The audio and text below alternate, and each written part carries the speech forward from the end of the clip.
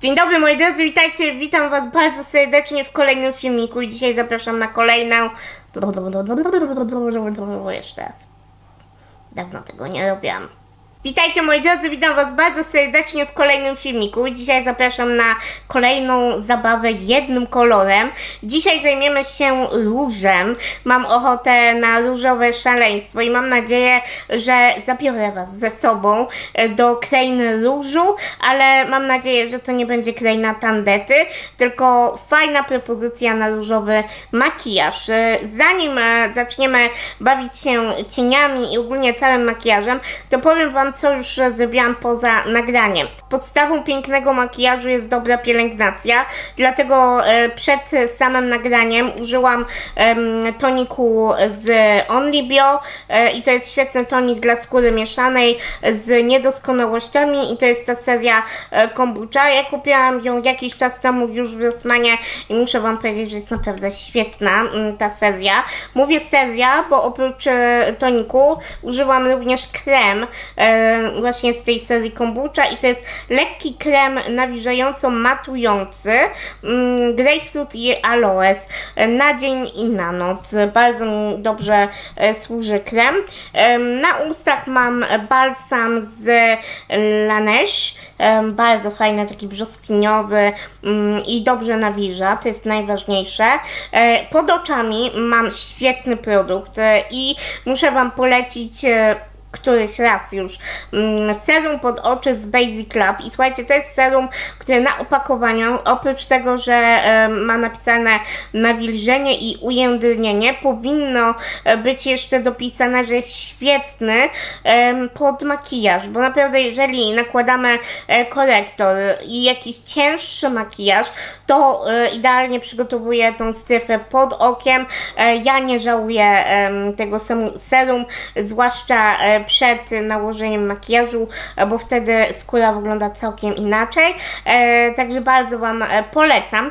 E, jeżeli chodzi o to, co już zrobiłam makijażowo, to podkreśliłam brwi.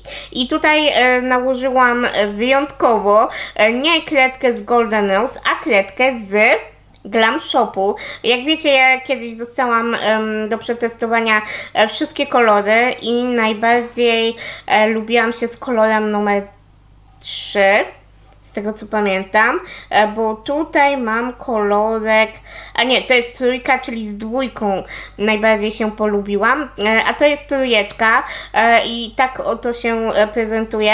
Troszkę jest dla mnie za ciemna, ale jak dobrze wyczeszemy i nie przegniemy z ilością, to bardzo fajnie mm, też wygląda. Staram się wykańczać rzeczy, które wiem, że są dobre, ale może gdzieś tam mi nie pasują e, kolorem, także kredki wykańczam. I teraz przejdziemy do makijażu powiek. Aha, jeszcze jeżeli chodzi o brwi, to oczywiście użyłam również żelu z Benefitu, którego teraz nie mogę e, znaleźć. 24 Hour Brow Setter, mój niezawodny żel do brwi, trzyma brwi tam, gdzie mają być i to jest najważniejsze. No i przechodzimy teraz do makijażu powiek. Sięgam po pędzelek z mm, sztucznym, a raczej syntetycznym e, włosiem i korektor. E, będę dzisiaj traktować korektor jako bazę pod cienie, zresztą ja bardzo często tak e, robię mm, i dzisiaj chcę zrobić bardzo dobrą bazę pod to, co się będzie działo, bo będziemy używać intensywnych kolorów i błyski będą grane też. Także korektor z L'Oreala Infallible Mortan Concealer leci na powieki jako baza. Nie wiem, czy pamiętacie puder z Glam Shopu pod oczy. Ja go bardzo lubię nakładać nie tylko pod oczy, ale również na powieki, bo jest bardzo delikatny. Świetnie wyrównuje strukturę skóry e, i nie obciąża absolutnie powiek. Sięgam teraz po kasetkę, prawda maka, ale w środku nie ma maka. Jest e, coś dużo lepszego, czyli pojedyncze e, cienie z Tune Cosmetics. Bardzo, bardzo je lubię i będę używać beżowego cienia pod łukiem brwiowym i w wewnętrznym kąciku. Teraz sięgam po paletkę z Glam Shopu Naturalnie Różowa i będę głównie właśnie z tej e, palety korzystać, a tak naprawdę z dwóch, trzech kolorów. I pierwszy kolor, e, po który e, sięgam z tej pięknej palety, to moi drodzy najbardziej odważny e, i nietypowy kolor, czyli ten środkowy, żarówiasty, różowy. Nakładam go w zewnętrznym kąciku, jak i na załamanie powieki, ale pilnuję, aby nie pojechać sobie zbyt wysoko i zbyt daleko, bo ciężko jest taki kolor potem usunąć, wymazać, e, także ostrożnie będę nakładać. Wolę dołożyć niż przegiąć. Jeżeli planujemy robić tak mocny, nietypowy makijaż, to warto jest zrobić najpierw makijaż powiek, a potem makijaż twarzy. E, dzięki temu zaoszczędzimy sporo czasu e, na sprzątanie pod okiem, na policzkach. Na pędzel nakładam naprawdę odrobinę różu i widzicie ile mi się tutaj osypało. Dlatego nakładanie e, podkładu czy korektora pod okiem w momencie, kiedy będziemy się bawić takimi mocnymi kolorami, nie ma sensu. Także spokojnie sobie zróbmy makijaż powiek, a potem przejdźmy do makijażu twarzy. Teraz sięgam po całkiem inny odcień różu, delikatny, zgaszony, wręcz powiedziałabym lekko brudny róż i nim będę e, blendować granice mojej soczystej różowej plamy, a także w wewnętrznym kąciku choć bardziej powiedziałabym na środku powieki. E, to, co tutaj się zadziało, też delikatnie tym kolorem e, będę blendować, a mówię tutaj o bardzo ładnym odcieniu e, z palety, który się zwie organiczny.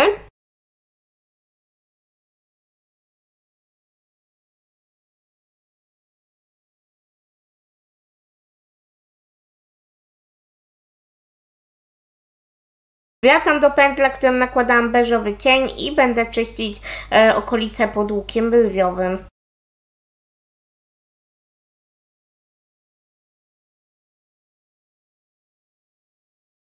I tak to się na ten moment prezentuje. Jak widzicie, różowa plama zdecydowanie zgaszona. A zaraz będziemy jeszcze nakładać błysk i podkreślimy zewnętrzny kącik. Teraz sięgam po czarny cień z mojej malutkiej paletki e, i będę nim podkreślać delikatnie zewnętrzny kącik, a konkretnie zrobię taką delikatną kreskę. Nie będę jechać po całej linii rzęs, tylko taką jaskółkę namaluję, która e, mam nadzieję tak odetnie trochę ten e, makijaż. Będzie również błysk, także myślę, że to razem będzie fajnie grało.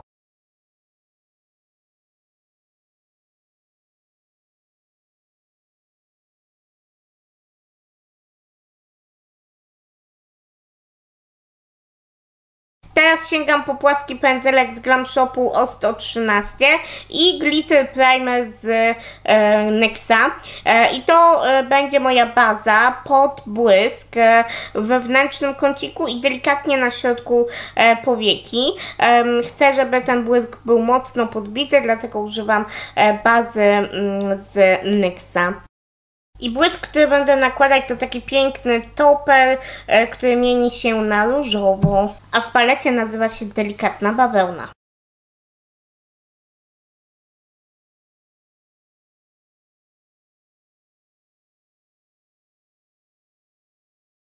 Kolejny krok mojego makijażu to oczywiście wytuszowanie rzęs e, i sięgam po tusz, który wyciągnęłam z moich kosmetycznych zapasów i to jest Smashbox z, taką welurową, strasznie brudzącą się nakrętką, e, ale jest bardzo dobry. Nie jest to e, tusz, który robi rzęsy wow, ale na co dzień jest rewelacyjny, bo się nie rozmazuje, nie kruszy, bardzo ładnie rozdziela rzęsy, jest taki subtelny, ale widać, że się ma fajnie wytuszowane rzęsy. Także tuszuję rzęsy i przechodzimy zaraz do makijażu twarzy.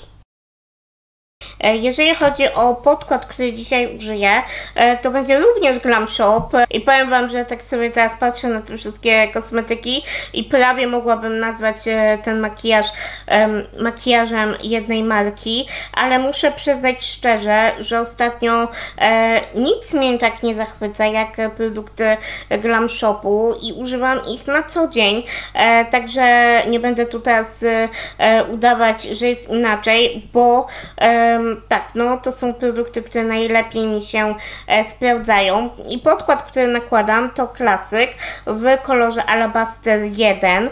E, może być teraz dla mnie ciut za jasny, ale... Mm, spoko, jakoś to ogramy na pewno. To, co e, nadal mnie wkurza w tym podkładzie, to opakowanie i pompka która e, czasem pryska, e, czasem nakłada dziwną ilość, e, ale wybaczam, bo podkład jest zacny. No i kolor bardzo ładny, taki neutralny. Um, o. I teraz ciap, ciap, ciap, ciap, ciap.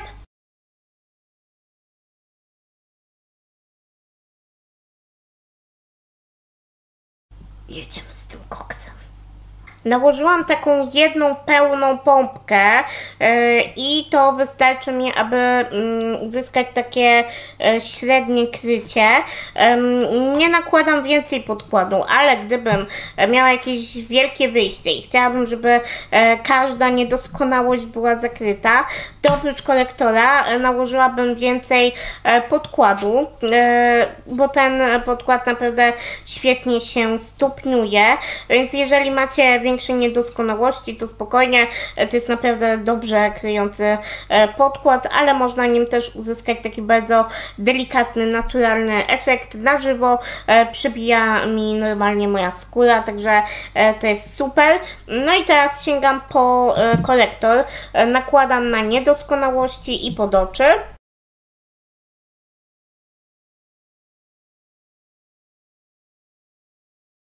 Sięgam po puder pod oczy i nakładam pod oczy.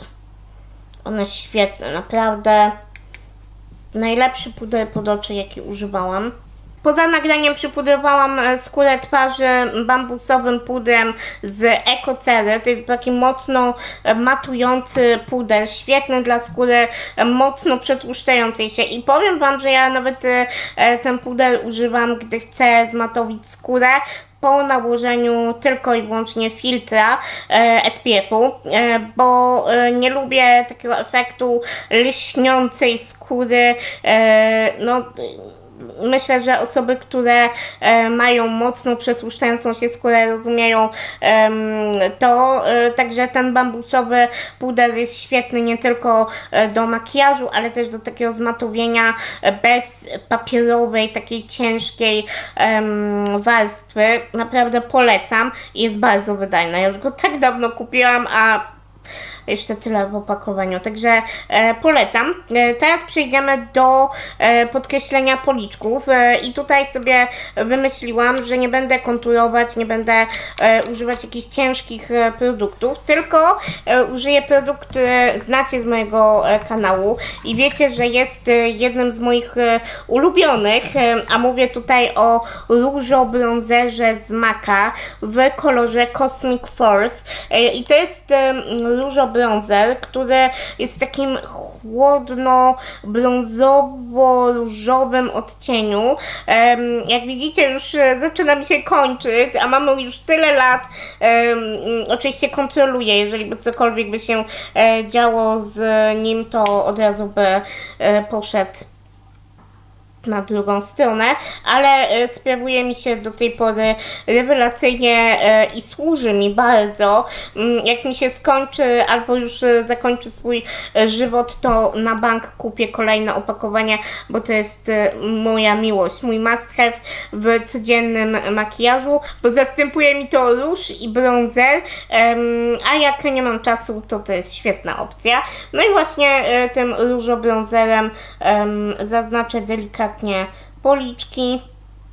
I powiem Wam, że ostatnio zaczęłam e, przyglądać się, jak nakładam bronzer i stwierdzam, że ja za daleko, za głęboko e, nakładam bronzer, ale na żywo to całkiem inaczej wygląda niż w kamerze.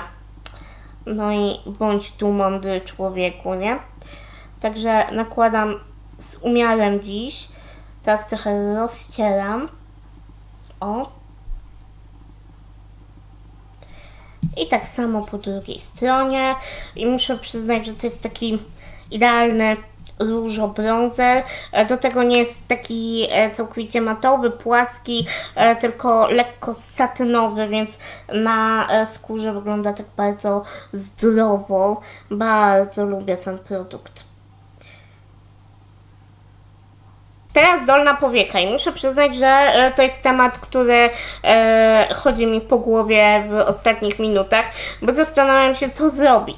Nie chcę dokładać tego mocnego różu, e, ale nie chcę też zostawić takiej gołej powieki, dlatego mm, sięgam po ten blady, e, taki zgaszony, brudny, delikatnie róż i nim delikatnie zaznaczę dolną powiekę, jako takie odświeżenie, akcent, takie niby nic tak żeby było coś, ale nie do końca. Wiecie o co chodzi. Tak, tak, tak delikatnie.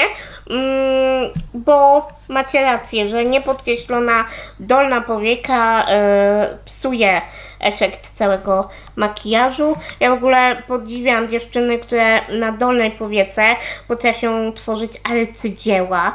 Um, no, ja mam z dolną powieką zawsze problem, e, bo albo mi łzawi oko, koszmar, albo mi się coś rozmarzy, osypie, nie nałoży tak jakbym chciała. Um, ja tą przestrzeń nie mam zbyt dużej, bo od razu jak się uśmiecham, to mam po lisie. E, także um, no delikatnie podkreślę i e, nie będę tutaj nic więcej robić. Stwierdziłam, że za duży pędzelek e, wzięłam, e, także zmieniam na taki e, trzy w jednym, e, bo tutaj mam precyzyjną kuleczkę. Ciekawa jestem, czy Wy się boicie używać różowych cieni i w ogóle co myślicie o różowym makijażu. Bo ja mam wrażenie, że mm, on jest często źle odbierany, bo ludzie y, boją się tego koloru. Druga sprawa, jest on bardzo mocno przyklejony do e, Barbie i takich infantylnych klimatów. A moim zdaniem róż to jest przepiękny kolor, który jest bardzo kobiecy, bardzo e, zmysłowy i e, dobrze użyty. Naprawdę fajnie wygląda. Przynajmniej ja tak myślę. Dajcie mi koniecznie znać co wy myślicie. Dobra.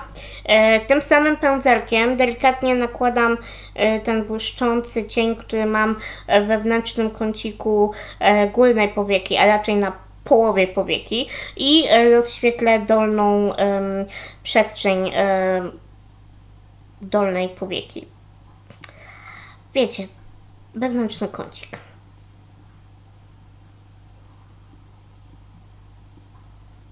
Całkiem inaczej się prezentuje, e, bo nie mamy tutaj glitter primera. Dobra. I tyle. Jeżeli chodzi o dolną powiekę. Ogólnie, jeżeli chodzi o makijaż e, twarzy. Ostatni element naszego dzisiejszego makijażu, jaki mi tutaj e, został, to oczywiste podkreślenie ust. I e, myślałam nad tym, co tu zrobić. Czy nałożyć soczystą fuksję e, i zrobić taki szalony efekt, e, czy iść bardziej w taką codzienną, e, delikatną stronę, żeby pomimo tego różowego, mocnego akcentu, e, ten makijaż był codzienny taki, który naprawdę bym na co dzień sobie zrobiła, gdybym chciała zaszaleć, e, a ja często szaleję z makijażem już jak go tworzę. Także e, tutaj myślałam co zrobić, co zrobić i postawię na taki różo nude, e, bo fuksję na moich ustach bardzo często widzicie, zwłaszcza na Instastory, a dzisiaj pokażę Wam duet, który jakiś czas temu dostałam od Eveline. I to jest taki zestaw w pudełeczku, w kolorze e, Cookie Milkshake. E, i to jest taki bardzo mm, blady róż z beżem em, i do tego mamy różową konturówkę. I muszę Wam przyznać, że ja na co dzień nie używam konturówek do ust, bo e, szkoda mi czasu na nakładanie e, konturki, ale dzisiaj nałożę konturówkę i wypełnię e, szminką, e, która jest przepiękna, bo już e, nakładałam e, i te szminki są eksy. Muszę upolować jakąś w kolorze fuksjowym, bo jak wiecie, ja mam teraz fiołę na punkcie fuksji. Jak widzicie, to jest bardzo delikatny e, kolor e, i szczerze mówiąc, e, trzeba się trochę namachać, żeby nałożyć tą konturkę, ale jeżeli chodzi o błyszczyk, raczej matową szminkę płynie, no to tutaj nie trzeba się namachać, bo bardzo łatwo, prosto i przyjemnie się nakłada i bardzo ładnie wygląda na ustach, utrzymuje się pięknie, mm, także Zobaczcie to. A i pachnie przepięknie. Pachnie tak ciasteczkowo, lekko waniliowo, ale to nie jest sztuczny zapach, tylko taki do zjedzenia.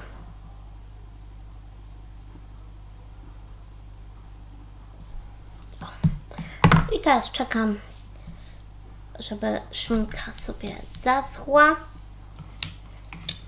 Wracam do Was z podsumowaniem. Jak się prezentuje dzisiejszy pełny, gotowy makijaż, totalnie różowy. E, teraz spokojnie mogę powiedzieć, że różowo mi. E, bardzo lubię takie kolory, bardzo lubię różowy kolor e, i absolutnie nie wstydzę się używać różu e, w codziennych makijażach, w ubiorze, e, w akcesoriach. Lubię ten kolor i uważam, że naprawdę em, raz na jakiś czas użyty albo częściej niż raz na jakiś czas bardzo fajnie podkreśla e, humor, osobowość e, i nie bójcie się różu pod warunkiem, że lubicie kolor róż- ró- różowy. różowy. Em, ja bardzo lubię i nie waham się użyć, jak widzicie. A wy teraz nie, nie zawahajcie się, nic nie piłam, nie wiem czemu się tak e, plącze język, nie zawahajcie się użyć kciuka do góry. E, mam nadzieję, że filmik Wam się podobał.